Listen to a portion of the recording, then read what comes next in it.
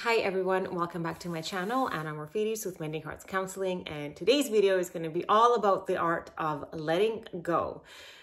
Letting go of attachment to ideas about where we should be in this particular time of our life, uh, how many kids we should have, how much money we should have, how many, anything we should have acquired by now. Attachment to idea, to an idea of where we should be in this moment.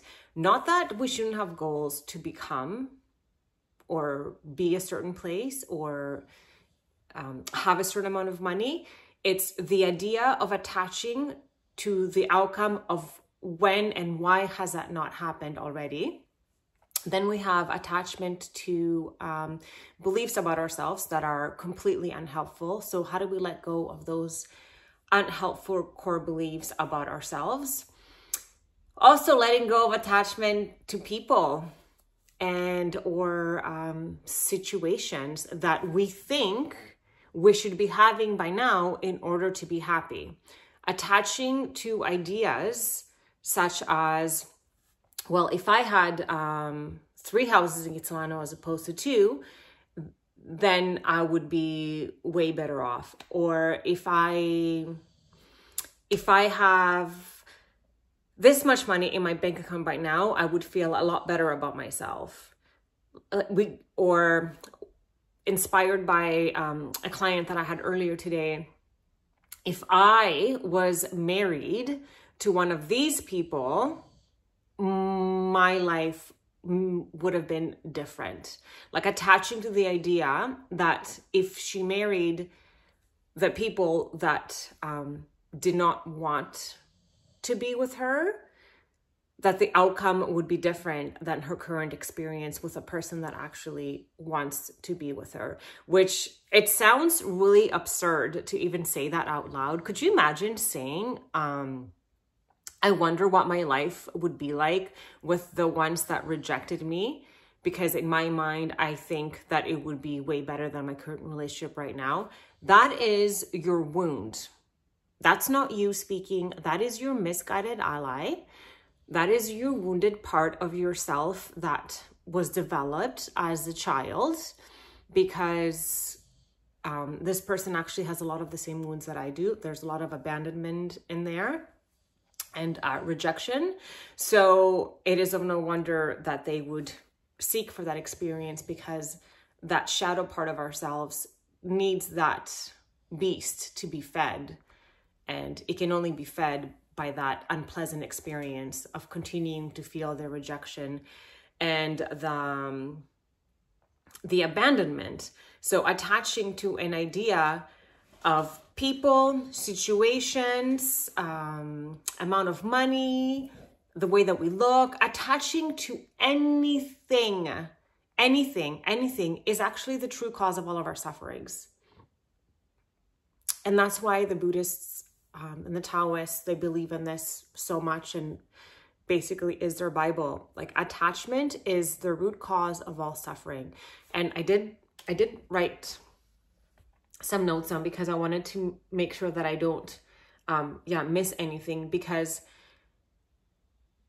when we decide to truly let go of negative self-talk, uh, unhelpful beliefs about ourselves that are not true, um, negative thought patterns of behavior that are not serving us anymore, we let go of anxiety because anxiety is actually living in the future. So if we let go of the idea that somehow our future is not going to turn out as um, we hope it to be because of past experiences, like letting go of the of the idea that things may go wrong in the future like being anxious about what's to come. Why? Why choose to be anxious? Like let's let go of the idea of anxiety and like just live in the present moment because at the end of the day the present moment is all that we can ever feel and the future has not happened yet and now that we know that we are co-creators of our future why not focus that energy instead of feeling anxious about it to focus on how we want it to manifest and how we want it to be and stay present in that feeling of thinking and being that which you desire to be in the future, which you can recreate by being this in the now. Then also we can let go of depression. Depression is um, living in the past. So letting go of the resentment of past experiences, past hurts, past anything. And the best way to do that is by gratitude. You can't be grateful and resentful to any person and or situation at the same time.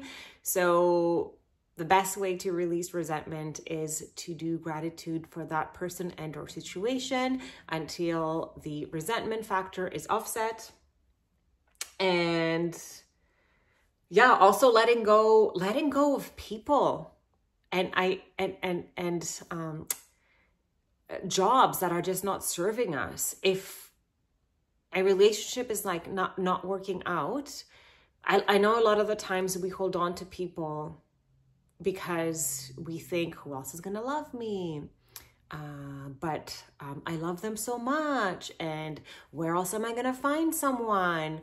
Or who else is going to hire me? Um, these kinds of limitations are actually not true and they will never be true. And we can only create those limitations by thinking those things in our head in the first place.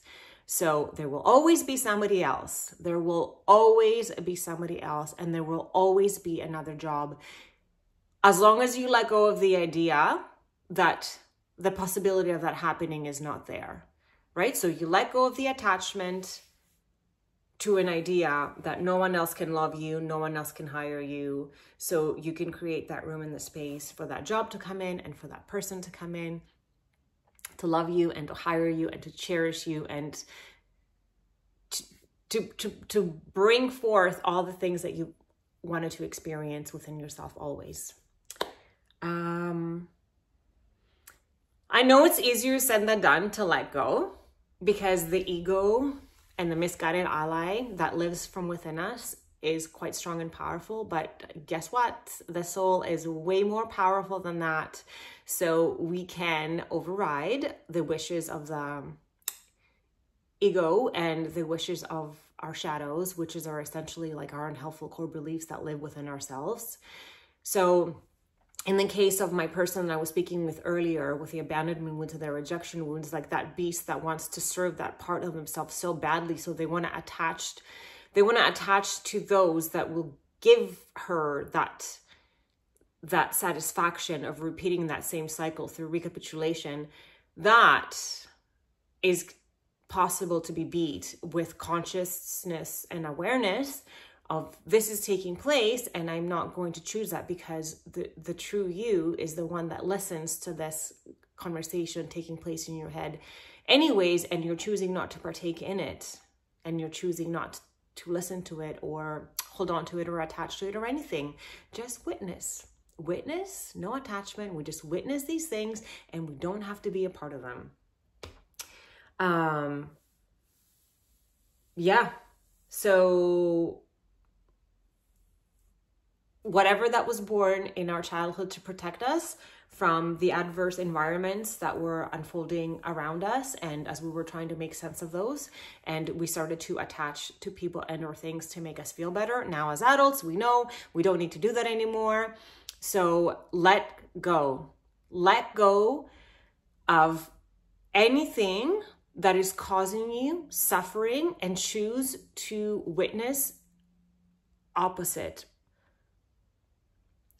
letting go of the idea of anything that you think that you cannot have or not acquire or who else is going to meet you there or anything like that will cause so much suffering. So letting go of all these unhelpful things will bring so much peace from within you and it can be replaced with gratitude and um, love for self and forgiveness for people.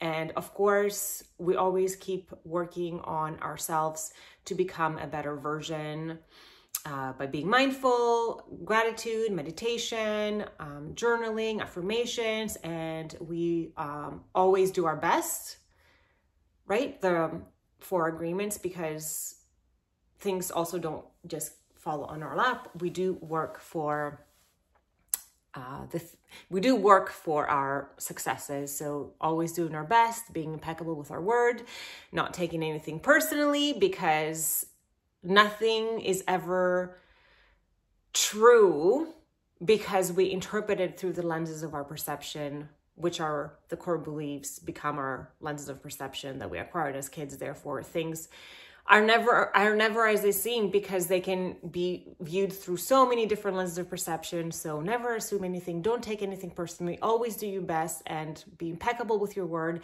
and always just be grateful and let go and create the future that you want to experience because now we know that we can and we are co-creators of our reality and with the knowing that yes we can I hope you liked uh, this video. If you want to give it a thumbs up, please go for it. If you haven't subscribed already to my channel, please do so. And also, if you want to hear future videos, hit the notification bell.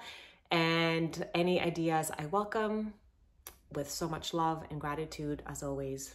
See you next time.